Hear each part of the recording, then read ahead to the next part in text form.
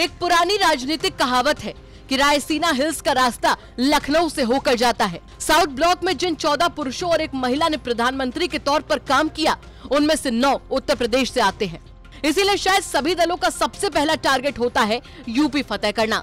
एक समय यूपी की क्षेत्रीय पार्टी का केंद्रीय राजनीति में ऐसा दबदबा होता था कि मायावती की बसपा और मुलायम सिंह यादव की सपा के बिना केंद्र में कोई भी सरकार नहीं बना सकता था। फिर 2014 में मौजूदा प्रधानमंत्री नरेंद्र मोदी का दौर आया।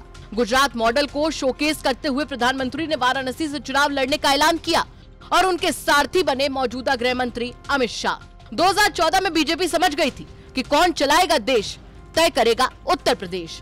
बहरहाल अमित शाह ने प्रधानमंत्री नरेंद्र मोदी के लिए जमकर कैंपेनिंग की और रिज़ल्ट आया एनडीए 80 में से तिहत्तर सीट्स 2019 में सपा बसपा गठबंधन के बावजूद बीजेपी को ज़्यादा नुकसान नहीं हुआ। और एनडीए के खाते में चौसठ सीटें आई। जानकारों की माने तो 2024 का टारगेट करते हुए बीजेपी ने एक नया प्लान तैयार किया है।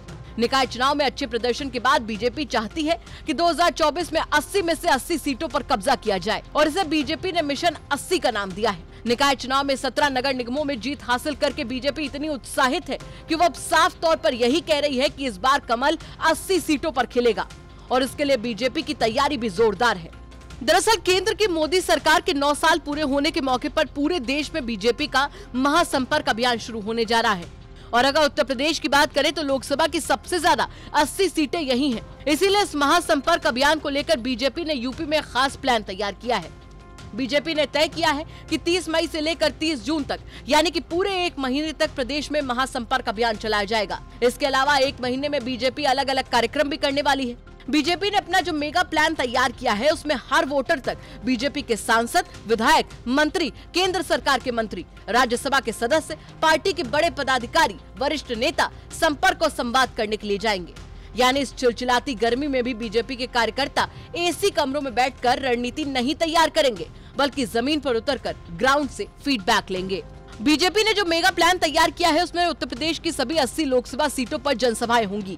हर जनसभाओं में कम से कम दस हज़ार लोगों की उपस्थिति होगी। इसके अलावा सभी लोकसभा सीटों पर प्रबुद्ध वर्ग सम्मेलन और व्यापारियों का सम्मेलन भी पार्टी कराने की तैयारी में है।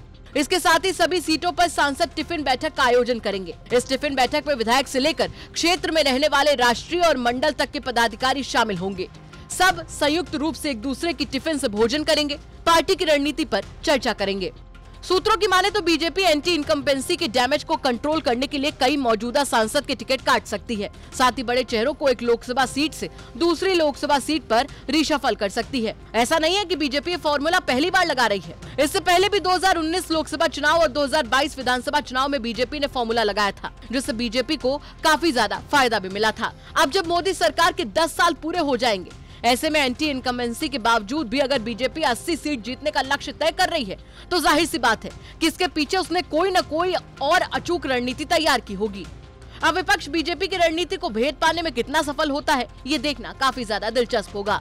लखनऊ से कुमार अभिषेक की रिपोर्ट, यूपी तक।